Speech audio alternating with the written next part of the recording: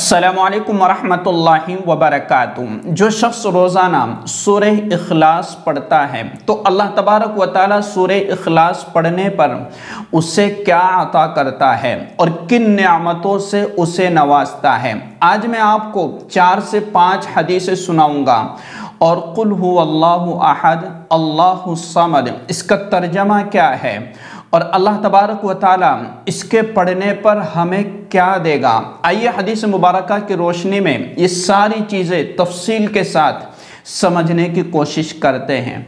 देखिए, अल्लाह के रसूल सल्लल्लाहु अलैहि वसल्लम फरमाते हैं कि तीन काम हैं जो इन्हें ईमान के साथ लेकर वो जन्नत के दरवाज़ों में से जिससे चाहे जन्नत में चला जाए। और जिस किसी हौर जन्नत से वो निकाह करना चाहे, वो निकाह कर ले। तीन काम क्या है? सबसे पहले नंबर पर कि कातिल को माफ़ करना और दूसरे नंबर पर के पोशीदा कर्ज अदा करना। यानी किसी पर कर्ज चढ़ा हुआ है तो वो अपने कर्ज को जल्दी से जल्द अदा करने की कोशिश करें। और तीसरे नंबर पर अल्लाह के रसूल सल्लल्लाहु अलैहि वसल्लम ने फरमाया कि हर फ़र्ज़ नमाज़ के बाद दस मरतबा कुल अहद पढ़ना। यानी ये पूरी सूरत जो शख्स हर फ़र्ज़ नमाज़ के बाद पढ़ लेता है, अल्लाह तबारक व ताली उस शख्स को जन्नत के दिस, जन्नत के जिस दरवाज़े से वो जन्नत में दाखिल होना चाहे, दाखिल हो सकता है। हज़रत सिद्दीक अकबर रदी अल्लाह तु ने इस मौके पर फरमाया कि अल्लाह के रसूल सल्लल्लाहु अलैहि वसल्लम इन तीनों में इन तीनों में से अगर कोई एक अमल कर ले तो फिर उसके लिए क्या अजर है? अल्लाह के रसूल सल्लल्लाहु अलैहि वसल्लम ने फरमाया कि उसके लिए भी वही दर्जा, वही मकाम और वही फजीलत है कि अगर कोई शख्स हर फ़र्ज़ नमाज़ के बाद दस मरतबा, कुल अल्लाह अहद पढ़ लेता है तो अल्लाह तबारक व ताली उसको इजाज़त दे देंगे कि जन्नत के जिस दरवाज़े से चाहे दाखिल हो जाओ। और इसी तरीके से हदीस मुबारक के अंदर आता है कि हज़रत अनस बिन मालिक रदी अल्लाह तु ये फरमाते हैं कि हम रसूलुल्लाह सल्लल्लाहु के साथ मैदान तबूक में थे और सूरज ऐसी रो, ऐसी रोशनी से चमकता हुआ निकला कि हमने इससे पहले ऐसे शफाफ और रोशन कभी नहीं देखा। हज़रत जबराल अल्लाह के रसूल सल्लल्लाहु अलैहि के पास तशरीफ़ लाए। अल्लाह के रसूल सल्लल्लाहु अलैहि वसल्लम ने फरमाया कि जो है सवाल किया कि आज सूरज की इज़, इस तेज़ रोशनी और ज़्यादा नूर और चमकीली शुआओं की क्या वजह है? तो हज़रत जब्राईल सलाम ने फरमाया कि आज मदीना में हज़रत मुआविया बिन मुआविया का इंतकाल हो गया है, जिनकी जनाजे की नमाज़ के लिए अल्लाह ताला ने सत्तर हज़ार फरिश्ते आसमान से भेजे हैं। अल्लाह के रसूल सल्लल्लाहु अलैहि वसल्लम ने पूछा कि उनके किस अमल से? तो हज़रत जब्राईल ने फरमाया कि कुल अल्लाह अहद को दिन रात चलते फिरते, उठते बैठते, पढ़ा करते थे। यानी कि सिर्फ़ ये एक अमल था कि हज़रत मुआविया बिन मुआविया रदी अल्लाह तु के जो चलते फिरते, उठते बैठते कुल अल्लाह आहद पढ़ते थे। तो इस सूरत से मोहब्बत की वजह से अल्लाह तबारक व ताली ने उनके जनाजे के वक्त जो है आसमान से सत्तर हज़ार फरिश्ते उतारे। और इसी तरीके से दूसरी रिवायत में आता है कि हज़रत जब्राईल सलाम ने पूछा कि अल्लाह के रसूल सल्लल्लाहु अलैहि वसल्लम आप उनका आ, आप उनकी नमाज़ जनाजा पढ़ना चाहते हैं? तो हज़रत जब्राईल सलाम ने जो है अपना पर ज़मीन पर मारा और फिर सारे दरख्त और टीले सब कुछ पस्त हो गए। और अल्लाह के रसूल सल्लल्लाहु को जो है हज़रत मुआविया बिन मुआविया का जनाजा नज़र आया और पूछा गया कि यह अमल किस वजह से और ये दर्जा किस वजह से मिला? तो हज़रत जब्राईल सलाम ने फरमाया कि वो चलते फिरते, उठते बैठते ये सुर अखलास पढ़ा करते थे। और इसी तरीके से एक और हदीस मुबारक मैं आपको सुनाता चलूँ कि हज़रत उकबा बिन आमिर रदी अल्लाह तु फरमाते हैं कि एक दिन मेरी मुलाकात अल्लाह के रसूल सल्लल्लाहु अलैहि वसल्लम से हुई। मैंने जल्दी से आप सल्लल्लाहु अलैहि वसल्लम का हाथ थाम लिया और कहा, या रसूल अल्लाह सल्लल्लाहु अलैहि वसल्लम, मोमिन की नजात किस काम के अंदर है? मोमिन की नजात किस अमल में है? अल्लाह के रसूल सल्लल्लाहु अलैहि वसल्लम ने इरशाद फरमाया, ए उकबा, ज़बान को थाम के रख। इतना बेहतरीन और इतनी बेहतरीन नसीहत अल्लाह के रसूल सल्लल्लाहु अलैहि वसल्लम ने फरमाई कि अपनी ज़बान पर काबू रख। अपनी ज़बान को कंट्रोल में रख। इसमें मोमिन की नजात रखी गई है। और दूसरी नसीहत अल्लाह के रसूल सल्लल्लाहु अलैहि वसल्लम ने बयान फरमाई कि अपने घर में ही बैठा रहा कर। यानी अपने घर में रहा कर। इसका यह मतलब नहीं है कि बस तिजारत वगैरह कुछ ना की जाए।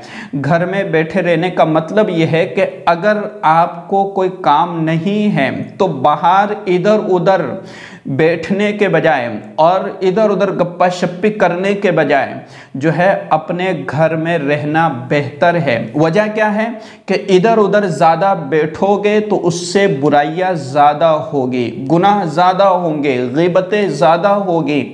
तो और अपना वक्त जो है फालतू बातों में ज़्यादा ज़ाय होगा। इसलिए बेहतर है कि अगर फुर्सत हो तो अपने घर को जो है अपने घर में रहा जाए। और इसी तरीके से अल्लाह के रसूल सल्लल्लाहु अलैहि वसल्लम ने फरमाया कि अपनी ख़ताओं पर रोता रहे, अपनी गलतियों पर रोता रहे।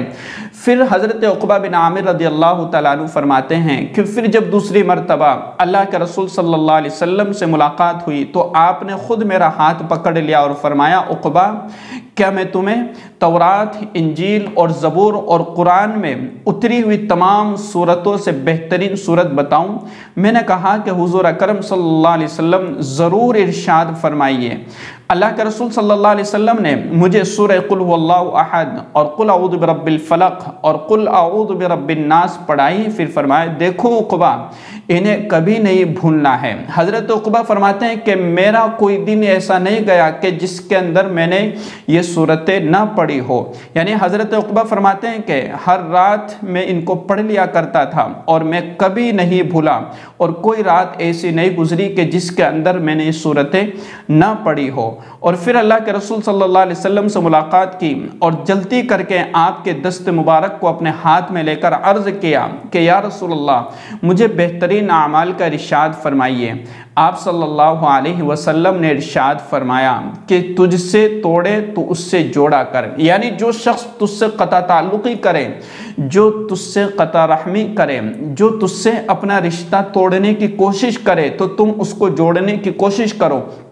और इसी तरीके से अल्लाह के रसूल सल्लल्लाहु अलैहि वसल्लम ने फरमाया कि जो तुझे महरूम करे, तू उसको दे। यानी कोई तुझे नहीं देता है, लेकिन तेरे अंदर ये सिफत होना चाहिए कि तू उसको दे दिया करे। बाज़ मरतबा यह होता है कि कुछ अनबन या कुछ ऐसी बातें या कुछ ऐसे मामला हो जाते हैं कि आदमी फिर ये सोचता है कि यार इसको क्या खिलाया जाए, छोड़ो ना, इसको क्या दिया जाए, छोड़ो ना। तो जो हमें महरूम करता है तो हम उसको देने के अपने अंदर एक सिफत पैदा करें। और इसी तरीके से अल्लाह के रसूल सल्लल्लाहु अलैहि वसल्लम ने फरमाया कि जो तुझ पर जुल्म करे तो तू उस जो तू उससे जो है दरगुजर कर और माफ़ कर। और इसी तरीके से सही बुखारी की रिवायत है कि अल्लाह हज़रत आयशा रदी अल्लाह तह फरमाती हैं कि अल्लाह के रसूल सल्लल्लाहु अलैहि वसल्लम रात के वक़्त जब बिस्तर पर तशरीफ़ ले जाते तो हर रात इन तीनों सूरतों को पढ़कर अपने दोनों हथेलियाँ मिलाकर उन पर दम करके और अपने जिसम मुबारक पर अपने जिसम मुबारक पर फेर लिया करते थे और पहले अपने चेहरे पर और फिर अपने बदन पर जहाँ तक हाथ पहुँचता था, अल्लाह के रसूल अलैहि वसल्लम तीन मरतबा यह अमल किया करते थे। अब अब जो है सुर अखलास का तर्जमा क्या है? और इसका मुख्तसर सा मतलब क्या है कि कुल अहद, अल्लाह समद, लम यलिद वलम यूलद वलम यकुल्लहु कुफुवन अहद। कि ए नबी सल्लल्लाहु अलैहि वसल्लम, आप इन लोगों से कह दीजिए वो यानी अल्लाह अपने कमाल ज़ात व सिफ़ात में एक है, अक्ता यकता है, अकेला है, उसका कोई वज़ीर नहीं और उसका कोई जो है हमसर नहीं, वो अकेला, तन्हा, तने तन्हा है और अल्लाह समद वो अल्लाह ऐसा बेनियाज है कि वो किसी का मोहताज नहीं है और उसके सब मोहताज है। ये अल्लाह समद कि वो किसी का मोहताज नहीं और पूरी दुनिया, पूरी कायनात अल्लाह की मोहताज है। लम यलिद वलम यूलद वलम यकुल्लहु कुफुवन अहद। कि उसके औलाद नहीं और ना वो किसी की औलाद है और ना कोई उसके बराबर का है। तो ये मैंने आपके सामने मुख्तसर सा तर्जमा रखा है। तो ये फजीलत मैंने आपके सामने रखी है ताकि हमारे अंदर सूर अखलास के पढ़ने की एक, हमारे अंदर एक शौक़ और एक जज्बा पैदा हो। और इसी तरीके से अल्लाह के रसूल सल्लल्लाहु अलैहि वसल्लम ने हज़रत उक़बा बिन आमिर रदी अल्लाह तु को जो अहम नसीहतें फरमाई है, उन नसीहतों पर हमें अपनी ज़िंदगी के अंदर अमल करना चाहिए। नंबर एक तो ज़बान पर काबू और इसी तरीके से अपने आप को फालतू अवकात में और इसी तरीके से बेजा नशिस्त बर्खास्त में रखने के बजाय अपने आप को अपने घर पर रखे ताकि हमारा वक्त ज़ाय ना हो और हमारी बुराइयाँ ज़्यादा ना हो। इस वीडियो को शेयर कीजिएगा। असलकम वरहमल रहमतुल्लाहि व बरकातहू